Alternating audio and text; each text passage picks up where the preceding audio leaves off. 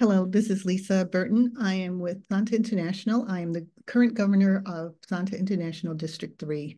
We are so proud to join with PowHer and the various allies in New York to support Equal Pay Day in New York City. It is no mistake that um, the economy of our country is based on the work that women do, and it must be equal pay for equal women.